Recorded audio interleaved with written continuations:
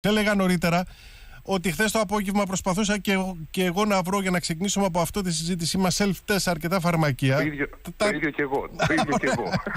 Άρα περάσαμε μαζί αυτό, αυτή την περιπέτεια. Ναι, στο, τέταρ, στο τέταρτο φαρμακείο βρήκα. Φαίνεται ότι υπάρχουν ελλείψεις. Υπάρχουν ελλείψεις, ναι, προφανώς υπάρχουν ελλείψεις. Προφανώς υπάρχουν ελλείψεις σε self-test και δεν ξέρω πόσο θα μπορούν τα παιδιά να είναι έτοιμα την Δευτέρα να πάνε με self-test όλα τα παιδιά στο σχολείο. Αλλά έτσι κι αλλιώς όμως, έτσι κι αλλιώς όμως, ε, το να πηγαίνουν τα παιδιά, δηλαδή στην ουσία, κοιτάξτε να δείτε, δεν είναι μέτρα τώρα αυτά, έτσι, για να λέμε τα πράγματα Γιατί; με το όνομά τους. Γιατί ε, τα κρούσματα έχουν σχεδόν δεκαπλασιαστεί. Αναμένεται, α, αναμένεται ε, πίεση στο, ε, στο σύστημα υγείας, γιατί ε, όταν έχουμε περισσότερα κρούσματα κάποια στιγμή θα μπουν και μέσα να ε, νοσηλευτούν κτλ. κτλ. Ε, και όμως τα μέτρα παραμένουν ίδια. Εμείς εδώ και δύο χρόνια κύριε Θεοδόση ζητάμε κάποια μέτρα που κατά τη γνώμη μας είναι αυτονόητα. Δηλαδή η αρέωση των μαθητών ανατάξει είναι αυτονόητο μέτρο. Αντίθετα η κυβέρνηση και νόμο ψήφισε που να κάνει τα, ε, τα, τις τάξεις στα δημοτικά από 22-25 μέσα στην πανδημία και φέτος τον Νοέμβριο που χώρισε συγχωνεύσεις τμήματων. Έχετε δίκιο και, σε αυτό, σε πάρα πολλά σχολεία. Και μάλιστα, και μάλιστα, και μάλιστα, και μάλιστα δεν είναι μόνο έχετε υπόψη σας πανδημία, είναι και η αντιμετώπιση της, ε, της, της τηλεκπαίδευσης, της λεγόμενης τηλεκπαίδευσης, όπου υπήρξαν σοβαρότατα μαθησιακά κενά. Δεν θα βοηθούσε πάρα πολύ και την κάλυψη μαθησιακών κενών η αρέωση μαθητών ανατάξει. Αντί, αντίθετα λοιπόν, εμείς βλέπουμε ε, πύκνωση μαθητών ανατάξει. Και το πρόβλημα είναι πάντοτε μας λένε ότι δεν έχουμε χρήματα να προσλάβουμε εκπαιδευτικούς. Ε, κάποια στιγμή δεν μπορούμε να πληρώνουμε μόνο οι γονείς από την τσέπη μας τις μάσκες, τα self-test, τα μοριακά, το ένα, το άλλο. Κάποια στιγμή και η κυβέρνηση θα πρέπει να βάλει χρήματα. Πρέπει να βάλει χρήματα για την αντιμετώπιση της πανδημίας, για την αντιμετώπιση της εξάπλωσης του ήλιου. Τα σχολεία μας ε, έχουν γίνει υπερμεταδότες αυτή τη στιγμή ε, του ιού. Πάντως, κύριε Φιλέρη, θα συμφωνήσετε μαζί μου ότι και η τηλεκπαίδευση δεν είναι λύση. Δηλαδή, τα προβλήματα που δημιουργήθηκαν προφανώς, εκείνη την περίοδο προφανώς, στα παιδιά εμείς, είναι πολύ σοβαρά. Εμείς ως Ομοσπονδία Γονέων είμαστε υπέρ των ανοιχτών σχολείων. Αλλά με, αλλά με ασφάλεια. Αλλά σχολεία που να, που να μπορούμε και εμείς να αισθανόμαστε μια ασφάλεια. Να σας πω κάτι άλλο. Ξεκινάει αυτή τη στιγμή ο εμβολιασμός στα μικρότερα παιδιά όπως ξεκίνησε κάποια στιγμή και στο γυμνάσιο και στο λύκειο. Ε, κάθε χρόνο ο, οι διευθυντές του σχολείου, όταν ξεκινάει ας πούμε η πρώτη δημοτικού, η πρώτη γυμνασίου, η πρώτη λυκείου, φωνάζουν τους γονείς και τους ενημερώνουν για κάτι άλλο του σχολείου. Γιατί αυτό το πράγμα δεν μπορούσε να γίνει για τους γονείς του σχολείου για τον εμβολιασμό με, ε, με γιατρούς να έρθουν να εξηγήσουν στους γονείς τι είναι ε, το εμβόλιο, τι, για ποιο λόγο το κάνουμε, για, γιατί χρειάζεται να το κάνουν τα παιδιά, για ποιο λόγο.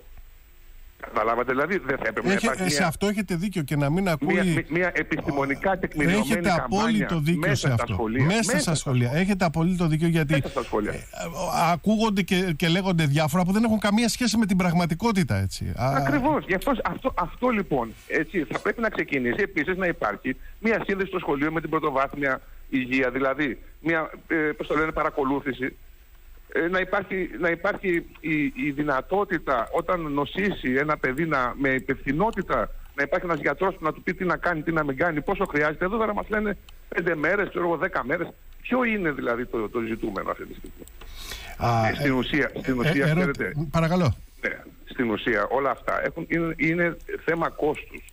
Ναι, αλλά κάποια στιγμή θα ξαναλέω ότι θα πρέπει να πληρώσουμε κάποια πράγματα από τον δημόσιο κορβανά, να το πω διαφορετικά, δεν μπορούμε να δίνουμε 600 εκατομμύρια για την αριστεία πούμε, στα πανεπιστήμια και να μην διαθέτουμε χρήματα για την ε, ανακαίρεση του ιού.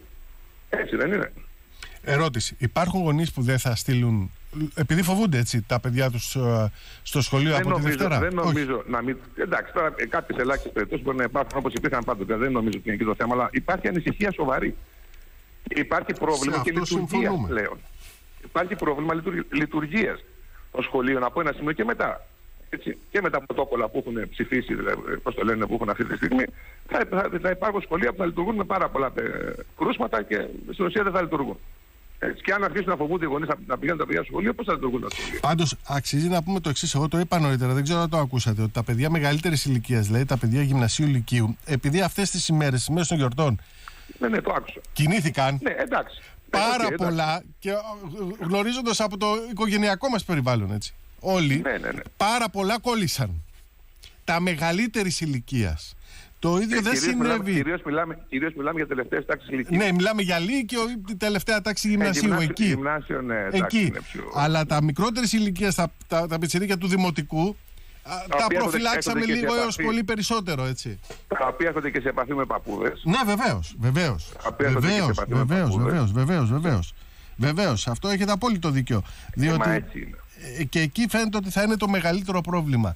Το οποίο θα αποτυπωθεί φυσικά μετά από την πρώτη εβδομάδα λειτουργίας των. Ε, δηλαδή, α, περιμένουμε, πρώτα να τα, περιμένουμε πρώτα να τα δούμε. Δηλαδή, κάποια στιγμή θα πρέπει η κυβέρνηση να πάρει τις ευθύνες της. Θα, θα ήταν όμως λύση η αναβολή το άνοιγμα των σχολείων για μία όχι, εβδομάδα; Εμείς εμείς δεν λέμε. Εμείς σας ξαναλέω, είμαστε υπέρ ότι ε, του, τα σχολεία είναι ανοιχτά.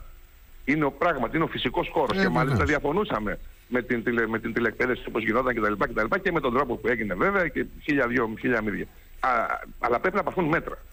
Πρέπει να πάρθουν μέτρα. Να σας πω κάτι άλλο. Αρρωσταίνει ένας εκπαιδευτικός. Τι θα γίνει τάξη Τι θα γίνει τάξη Και τα παιδιά δεν μπορούν να μοιραστούν στις υπόλοιπες τάξεις. Ακριβώς.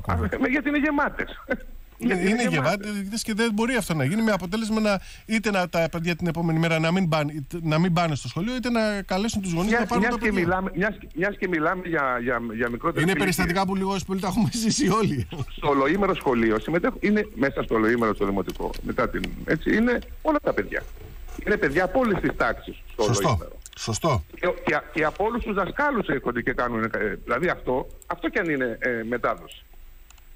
Καταλάβατε. Δηλαδή κάποια στιγμή έτσι, θα έπρεπε να πάρθουν κάποια μέτρα.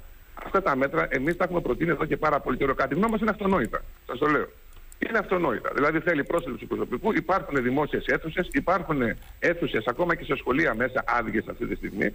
Αλλά υπάρχουν και δημόσια. Ε, κατα... Τα σωματεία εκπαιδευτικών, έχετε υπόψη σας, έχουν βρει σε διάφορες γειτονιές διάφορα κτίρια που θα μπορούσαν να αραιώσουν οι τάξεις. Άρα να προσθεθούν εκπαιδευτικοί χρειαζόταν.